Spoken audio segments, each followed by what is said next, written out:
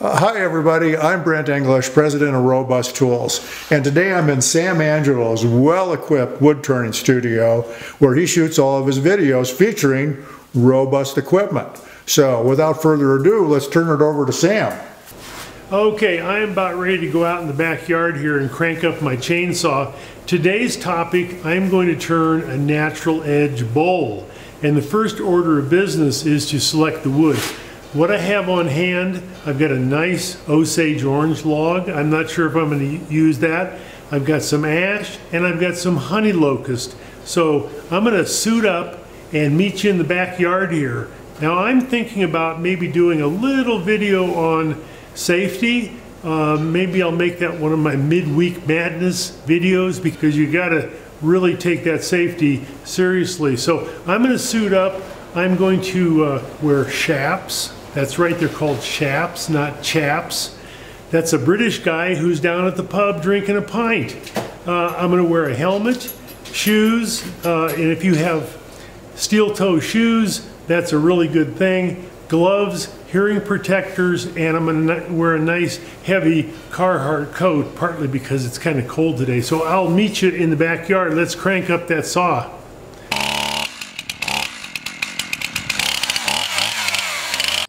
Okay, as I begin this project, I'm cutting up some logs with my chainsaw, and one of the things I need to do first here, I've got a big spike of some sort uh, embedded in this log, and I'm cutting the end of this off. You can see it on the right side of the screen there.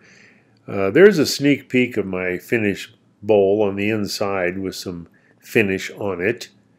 And throughout the video, I will uh, lock my chain on my chainsaw. There's a close-up of that spike. I'm going to put a video up on chainsaw safety. It'll be up in a week or two. It'll be sort of a sister video to this. Just some do's and don'ts of using a chainsaw. There's a shot of the outside of my bowl that I will work on in this video. And I'm splitting this log in half, and this is the log that I will take my bowl from. Okay, I made myself four nice blanks for a natural edge bowl. And I was able to find some ash. I really wanted to turn this out of ash. And the diameter of this piece of wood I'm going to call it nine inches right there.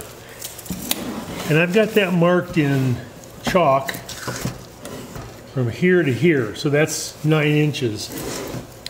One reason for leaving this um, half log a little bit longer is I have a couple small splits in the end of these right here. And hopefully when I take this off, I'll remove those splits. All right, so I have a number of poster board circles, templates. This one is 10 inches, so I'm, I'm adding a little bit. I can always uh, make the bowl a little bit smaller to match that 9 inch dimension. So I'm going to take, actually this is a roofing nail that I found.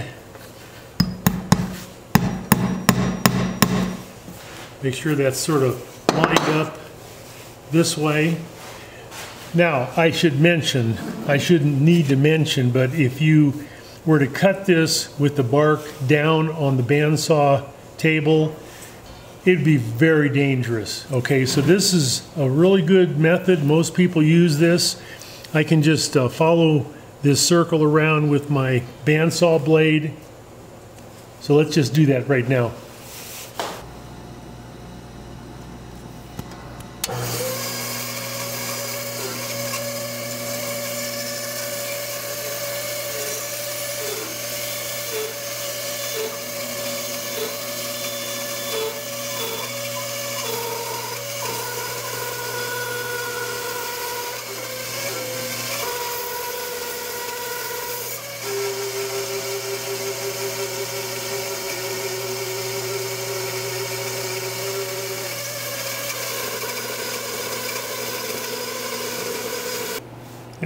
I don't have a lot of cracks here, just maybe one little split will take care of that when we start turning. So yeah, we're ready to move on. Let me take my, so let me take my cardboard uh, circle out. Now what I'm going to do is I'm going to drill a hole with this um, wide paddle bit. I'm going to go down through the bark and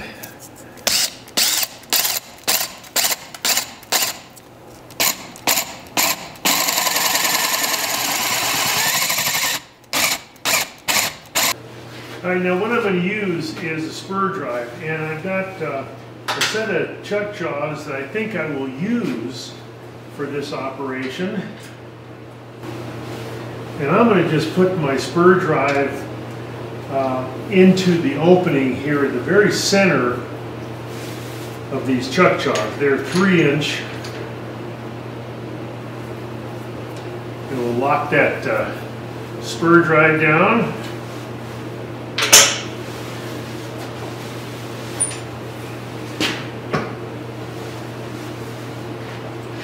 Now, off camera, I took my mallet and really bashed that spur drive into the, uh, the opening here where I drilled that hole.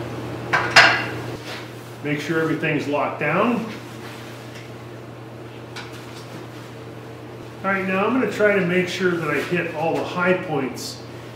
And one of the first things I need to do is check my high points and my low points on my bowl blank. All right, so this would be a high point, and down here would be a low point. And it's important that those are level. If you get them just a little bit off, they're going to look kind of funny. Uh, we will revisit that as we go along. I'm going to take a marker and just uh, right where the bark and the wood meet, I'm going to make a mark.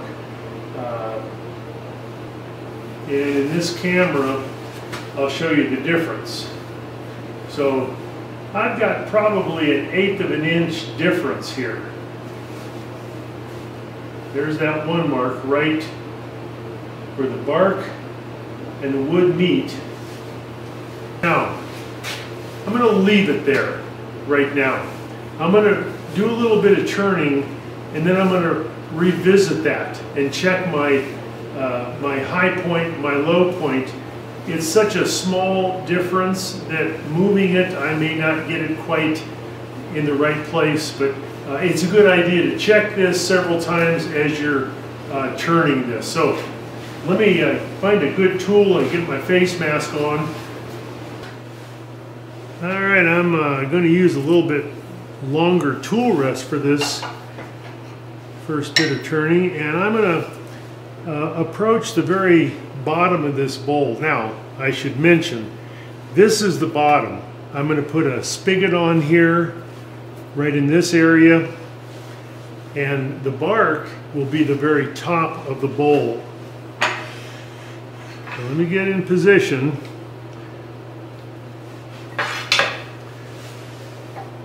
Now this particular robust lathe has a remote control uh, on a on a cord for the stop and start and the variable speed.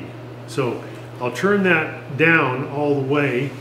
Make sure I'm cleared and we'll just uh, we'll just start her very slowly. I'll put this in a position where I can easily and safely reach it.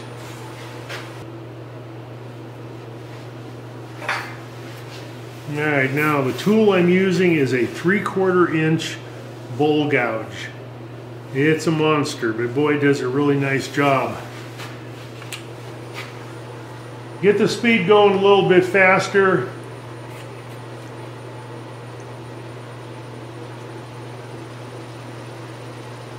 Uh, that's probably 500 RPM.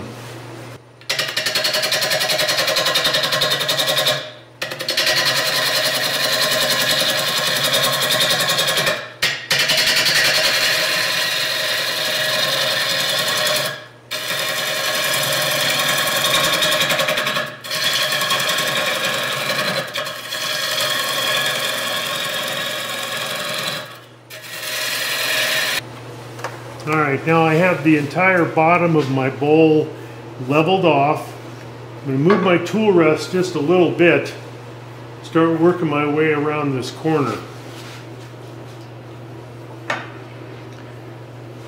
Now you'll also notice that I've got my flute almost completely pointed upward. Now what that does is it's a little bit of a scraping cut until I make that surface flat and, trued up. The force of the wood coming down uh, makes the tool go directly into the tool rest and it makes it easier on my hand. This is something I learned years ago at the Utah Wood Turning Symposium.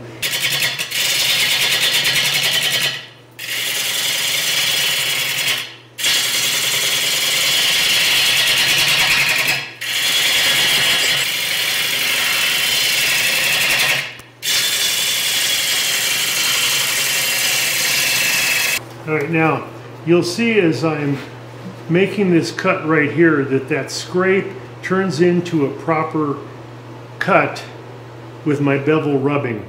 This surface is all trued up right up to about here and I really like that uh, that wood. It's uh, very pretty. So I'm going to just keep working on this. I'm going to go put a, a sharpen on this tool and uh, work my way around here. And then one of the next things I need to do is put uh, a tenon down here. And I'm going to use these chuck jaws that I have already in my lathe.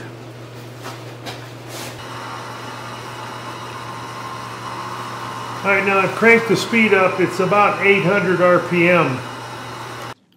Now my goal in this split screen shot here is to round over the outside edge of my bowl and I've accomplished most of that. I'm working my way down to the bark, and later on I'll make a cut in the opposite direction to guarantee my bark doesn't come off. But I'm um, truing that up, and in the left view right there, you see that my my gouge is becoming more of a cutting tool. I'm, I'm hitting the bevel and making a true cut on, on the bowl. All right, now in this camera right here, you'll notice that I've reached the lower area of bark. Okay, so I'm going to take my, my Sharpie and I'm going to mark the first area right here. Okay, and holding my my hand in the same position there's the difference. Okay, from, from this to right in here. I will make an adjustment. I'm not sure if I'll do that right now.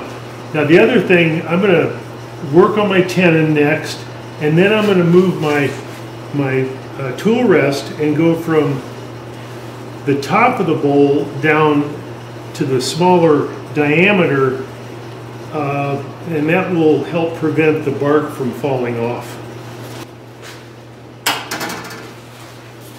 I'm gonna just check my uh, dimension for my my tenon right in there. Now I'm beginning to form my tenon and I've got a 5 8 inch bowl gouge and I'm removing the bulk of the wood around the base of my bowl where my tenon or spigot is going to be. And now I've got a 3 8 inch spindle gouge and I'm just detailing that spigot I'm using a 3 inch scroll chuck. It's a Vicmarc.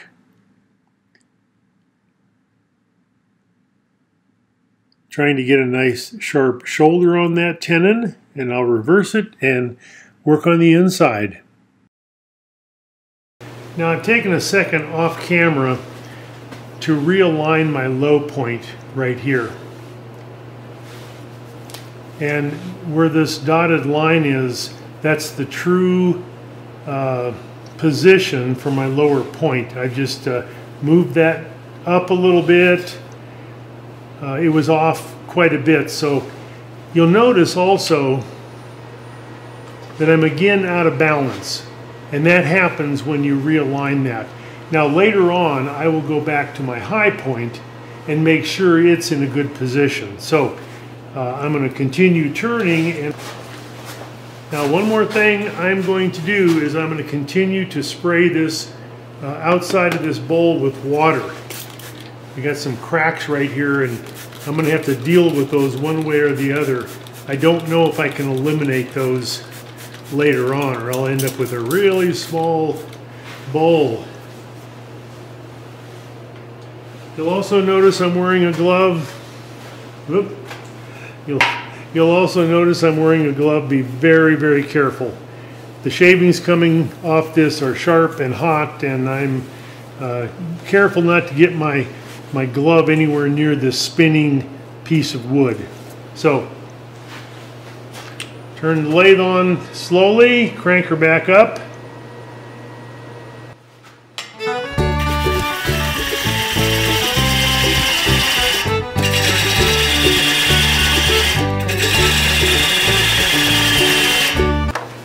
Shut my lathe off and see where we're at. I had to re-true up my tenon here because it was out of balance because I moved the, the piece of wood. So I'm going to come around and keep going to the top here. And actually what I'm going to do is I am going to make a cut from the top of the bowl down. Okay. Um, ordinarily this is really going in the wrong direction. Okay, I'm going into unsupported wood, but I don't want that bark to fall off. And if I go in this direction, which is proper, the bark can, can fall off there. Now, after I adjusted for the high and low points, my bowl blank became out of balance once again. So I had to do a little bit more work on the outside. Here I am cutting from the top of the bowl down to the spigot and I'm doing this so the bark doesn't come off. I'm actually going in the wrong direction, as I mentioned before. But this works very well to do this. And I'll do a little scraping and clean up my tool marks later on. Okay, now I'm working on the very bottom of my bowl. And I said it's going to be elegant. Well, I'm working on the shape and what I'm using right now is a traditional uh, bowl gouge grind and I can get in there uh, with my tailstock in that position. Ordinarily I might be I might be hitting that so let's uh, do a little bit of fine tuning on this. I'm going to make this base relatively small. It's going to be smaller than this tenon eventually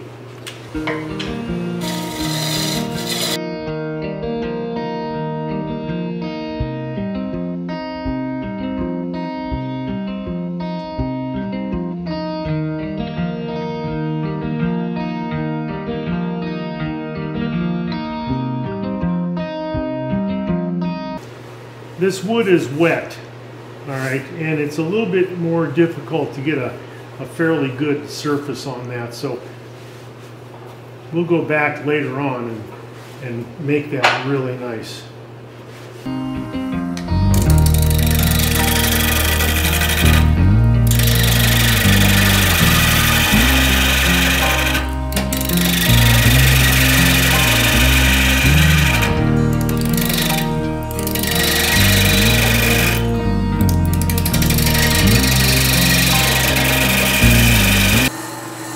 Right, now I am just about ready to establish my wall thickness right here on this higher uh, level.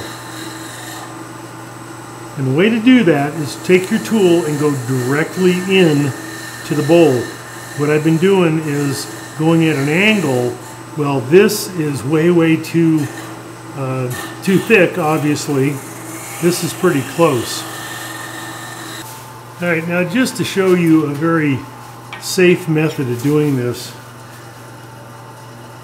I'm going to use my eighth inch parting tool and work my way down to this area right in here. Eventually I want a quarter of an inch or less wall thickness.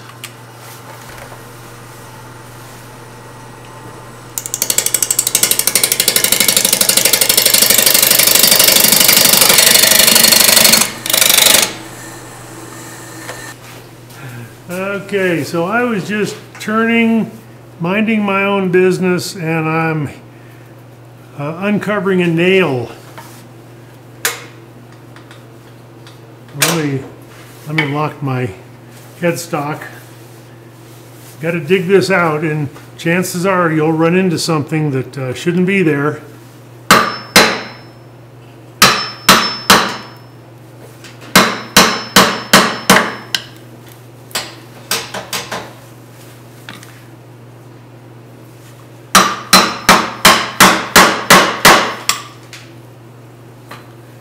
There we are. Now what I did was I used a parting tool to uncover that as much as possible. It's easy to sharp. It's easy to sharpen a parting tool. Uh, let's just see if I can get in there and take this out. Okay, I need a bigger hammer. Well, it's always something. I think I got her here.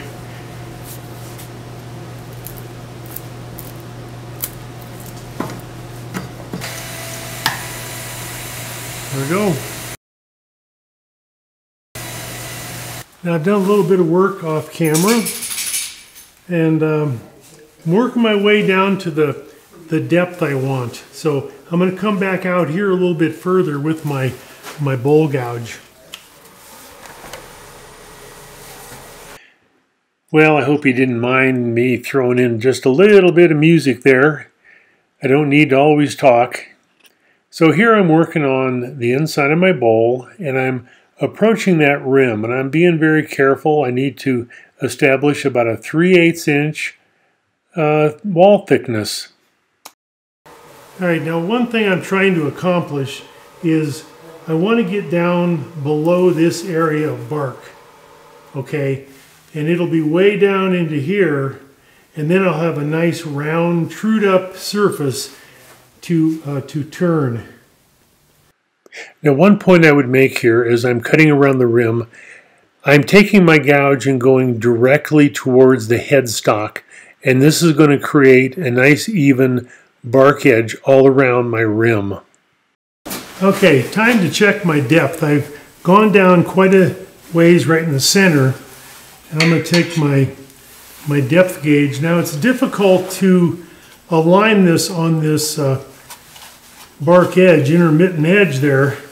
So what I do is I'm going to just put this right along my tool rest and lock in that depth right there.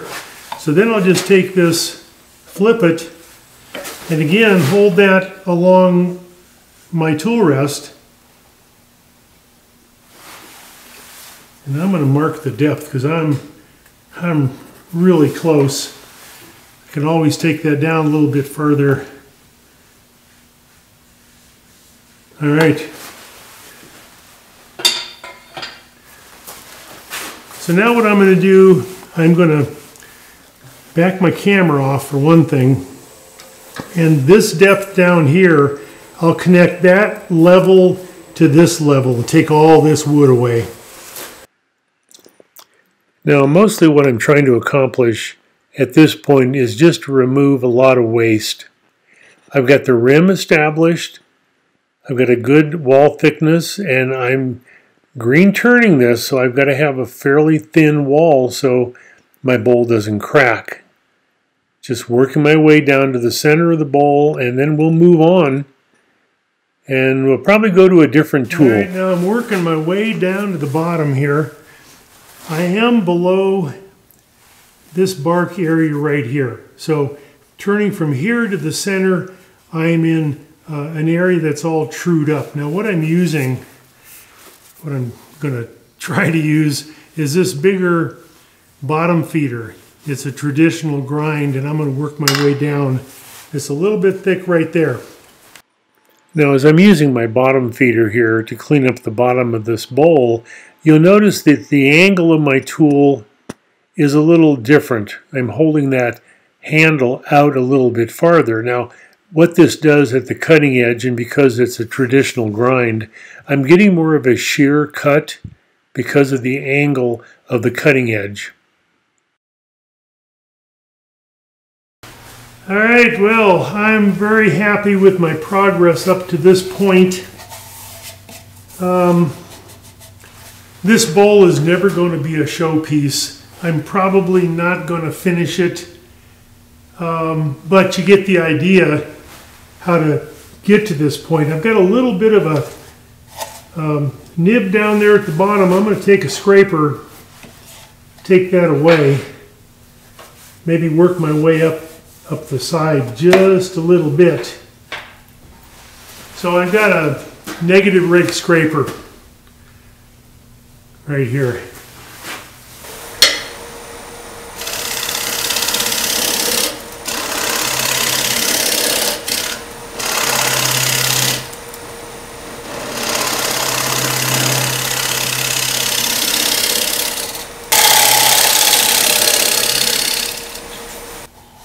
Now I'm going to work just a little bit more on the bottom here. I usually uh, turn these green to completion, okay? And then I put them away in shavings, the same shavings that are on the floor down here, for a week or two. Put them in a paper bag and check it. Uh, there's some cracks here. I'm not sure how this is going to end up. The cracks could get really bad, but I'm going to, you know, finish it. I'll probably do a little bit of sanding and I'll show you the final the final bowl.